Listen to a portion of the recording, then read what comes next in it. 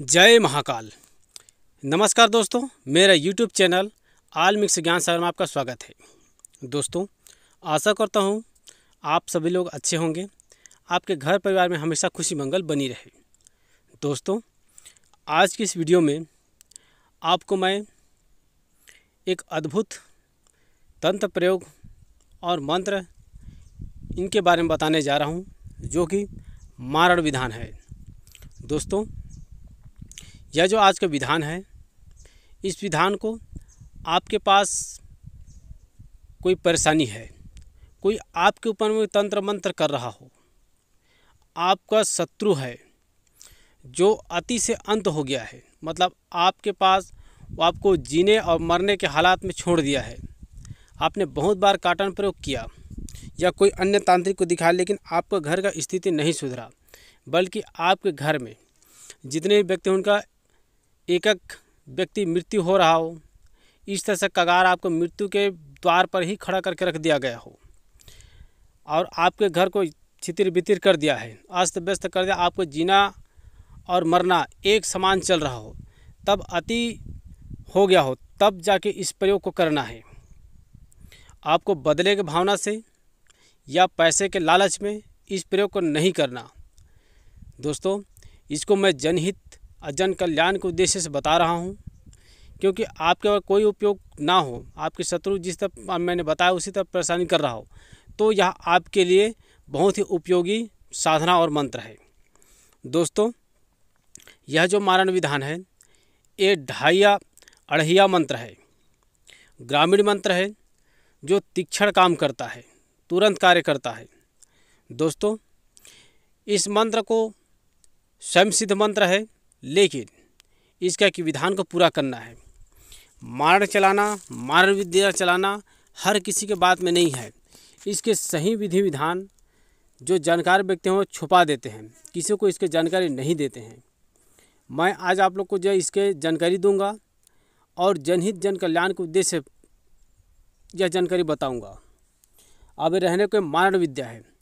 इसको एक बार नहीं, सौ बार नहीं हज़ार बार सोच समझ लेने के बाद में ही इस मंत्र का प्रयोग करेंगे। दो धारी तलवार है, सामने वाले का जान जाएगा या फिर आपका जान जाएगा। इसलिए इसको सोच विचार करके और इस वीडियो को पूरा देखिए। थोड़ा सी भी बात को आप स्किप नहीं कीजिएगा, नहीं तो ये घातक हो सकता है। दोस्तों, आपके पास कोई रास्ता ना हो तो ही इसके उपयोग को इस मंत्र का प्रयोग करेंगे। अब यह साधना या विधि मंत्र बताने से पहले आप लोग को बारंबार निवेदन करता हूँ कि आप यह प्रयोग करने से पहले सबसे पहले वीडियो को अच्छी तरह से देख लीजिएगा, समझ लीजिएगा और सुन लीजिएगा। मानव विधि चलाने से पहले आपके पास में एक जानकार व्यक्ति होना अति आवश्यक है। आपको रक्षा मंत्र सुरक्षा घेरा, सिद्ध हुआ हो, वह आपके पास में जागृत अवस्था में हो या अति आवश्यक है। साथ ही साथ मंत्र को चलाया कैसे जाता है? मंत्र यदि वापस आता है, कोई शक्ति भेजते हैं तो वापस आता है, उसको रोकते कैसे हैं? इसका सबसे पहले आपको ज्ञान होना चाहिए। यदि ना हो तो आप मेरे चैनल में अन्य वीडियोज़ को देख लीजिएगा। मैंने इसके बारे में पहले जानकारी दिया है, वह उसके बाद में कर सकते हैं। साथ ही साथ, इनको जनहित जन कल्याण के उद्देश्य से आपके पास कोई रास्ता ना हो, तभी इसको प्रयोग करना है। अब चलो बात करते इसका प्रयोग कैसे करना है? सबसे पहले इसका, इसको सिद्ध करना पड़ता है। एक दिन जहाँ एक दिन का सिद्धि है, किसी भी अमावस्या के दिन, या फिर शनिवार रात्रि को इस प्रयोग कर लेना है। आपको सिद्ध करने समय में कुछ सामग्री का आवश्यकता पड़ेगा। नारियल अगरबत्ती, बंगला पान, लौंग इलायची, पाँच प्रकार की मिठाई बतासा नींबू, सिंदूर या फिर बंदन शराब और एक काला मुर्गी। यह सामग्री आपको पहले इकट्ठा कर लेना है। उसके बाद में आपको जिस दिन यह सिद्ध करना है, उस दिन शमशान घाट में आपको यह सिद्ध करना है, अन्य जगह में इसको सिद्ध नहीं कर सकते। आपको एक दिन पूर्व ही शमशान घाट को निमंत्रण देना है कि मैं अमुक कार्य करने आ रहा हूँ, आप कार्य में सिद्धि दीजिए। हे शमशान की देवी, आपको मेरा बारम्बार प्रणाम है। साथ ही साथ, आपको अपने कुल देवता, इष्ट देवी देवता और ग्राम देवी देवता का सुमरण करना आवश्यक है। अगले दिन सारा सामग्री लेकर के आपको जाना है। काले कलर का वस्त्र धारण करके या फिर बिना वस्त्र के। लेकिन काले कलर के कपड़े में आपको आसन लगाना है। दक्षिण दिशा कर मुँह करके सबसे पहले पानी से चौका लगाना है। उसके बाद में उसके ऊपर थोड़ा सा चावल रखना है, सफ़ेद चावल। उसके ऊपर में आटे का चौमुखा दीपक जलाना है। उसके बाद में आपको पाँच अगरबत्ती जलाना है और अगरबत्ती जलाते हुए गणेश, गुरुदेव, माता सरस्वती, इनकर पूजन ध्यान करना है, आवाहन करना है, इनको सभी को भोग देना है, फूल भी अर्पित कर सकते हैं। उसके बाद में रक्षा मंत्र शरीर बंधन और रिंगन घेरा कर लेना है। उसके बाद आके पुनः आपको बैठ जाना है और शमशान काली महाकाली के, उसके नाम से आपको पूजन करना है। एक नारियल रख देना है, बंगला पत्ता, लौंग, इलायची उनको रख देना है। उसके बाद में आपको थोड़ा सा जल लेना है और उस जगह में अर्पित करना है।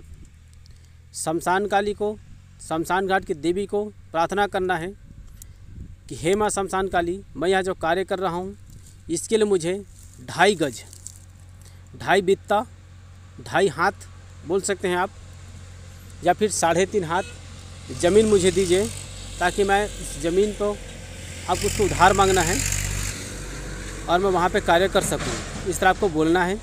बोलने के बाद में आपको महाकाली का पूजन करना है। और जो मैं आगे आपको मंत्र बताने जा रहा हूँ, उस मंत्र को आपको पाँच माला पढ़ना है। यदि आप माला का उपयोग कर रहे हो तो नरमुंडी माला, काला हकीक, रुद्राक्ष, इन माला का प्रयोग कर सकते हैं। ना यदि माला ना हो तो आप लगभग दो से ढाई घंटा मंत्र पढ़ें। आपको पढ़ते हुए पढ़ लेना है। जब पूर्ण हो तो नींबू में सिंदूर लगा कर उनको बलि दे दें और उसके बाद में प्रार्थना करें कि मेरा कार्य पूर्ण हुआ या नहीं हुआ। हे माता काली, मेरा अर्जी बिंदी स्वीकार कीजिए। मैं जनहित जन कल्याण के उद्देश्य से और जब मेरे जान के ऊपर में किसी के जान के ऊपर में आएगा तभी मैं प्रयोग करूँगा। ऐसा आपको बोलना है। उसके बाद में चावल वहाँ थोड़ा रखना है। उसके बाद मुर्गी का पैर आपको धोना है और उसके बाद में थोड़ा सा बंधन लगा देना है उसके सिर में। उसके बाद उनको आवाहन करेंगे और उनको चावल खाने के लिए बोलेंगे। वो यदि चावल वो चूक गया, तब समझिए आपको पूजा स्वीकार है, तब उनका बलि दे दीजिएगा। बलि देने के बाद वहीं पे आपको दफन कर देना है और सारा सामग्री वहीं पे छोड़ देना है, आपको चले आना है। यह प्रक्रिया आपका सिद्धि का है। जब आपको प्रयोग करना है तो इसका विधान जब कोई शत्रु अतिताई कर रहा हो तो उनका नाम, उनका गोत्र और उनका तस्वीर आपके पास में होना आवश्यक है। जब आपको यह प्रयोग करना है, तब आपको एक काले रंग का एक हंडी लेना है और उसका ढक्कन भी होना चाहिए और उन शत्रु को जिनको आप मार चलाना चाहते हैं, उनका नाम, तस्वीर होना चाहिए। अब आपको उस दिन कैसे करना है? उस दिन आपको किसी शमशान घाट में, एकांत जगह में चले जाएँ। शमशान घाट सबसे उत्तम होगा। जाने के बाद में, जैसे आपने पूजन किया था, गणेश, गुरु, सरस्वती और रक्षा मंत्र सुरक्षा घेरा, यहाँ तक आपको पूजन करना है शमशान काली के नाम से, माता मरही देवी के नाम से, मरही माता के नाम से। आपको पूजा करना है, उनका वाहन करना है, उस जगह में उनका पूजा करना है। शराब भी वहाँ पे थोड़ा सा देना है। और नींबू भी आपको काट देना है, आवाहन करते समय में। आवाहन कर लेना पूजा होने के बाद में आपको हंडी में चारों दिशा में त्रिशूल इंकित कर देना है, त्रिशूल छाप देना है। उसके बाद में उसको बगल में रख देना है और एक पुतली तैयार करना है। पुतली जो बनाएँगे, आटे का पुतली होगा। आटे की पुतली बनाना है। उनके सीने में उस शत्रु का नाम लिखना है और उसको वहाँ पे खड़ा कर देना है। आपके सामने में खड़ा करने के बाद में एक नींबू और काट देना है। उनके प्राण प्रतिष्ठित के लिए कि वो अमुक व्यक्ति का और वहाँ पे उनका तस्वीर जो है उसके सामने में ताकि उनका शकल आप देख सकें। और माता मरी माता शमशान काली कहेंगे कि यही वो व्यक्ति है जिनको मार्ग विद्या चलाने वाला हूँ। हे मरी माता, हे शमशान काली आप मेरे कार्य को पूर्ण करो, मेरे को कार्य में सिद्धि दो, इस शत्रु बेरी को विनाश करो। ऐसा आपको बोलना है और बोलने के बाद में वहाँ पे उनको तस्वीर रख देना है। अब उस वहाँ पे आपको शमशान घाट के लकड़ी से 21 कील बनाना है। कौन सी लकड़ी? बाँस की लकड़ी से, जिसमें मुर्दे को ढो करके ले जाते हैं, उनके ऊपर रख करके उसी का 21 कील बनाना है। और एक कील को पकड़ करके आपको एक मंत्र पढ़ना है और उस पुतली में मारना है सीने में। इस तरह 21 कील वहाँ पे गाड़ देंगे। गाड़ने के बाद में उसके सिर में कपूर डाल देंगे और उनको जला देंगे। जलाने के बाद उसको पुतली को उठा करके आपको मटकी में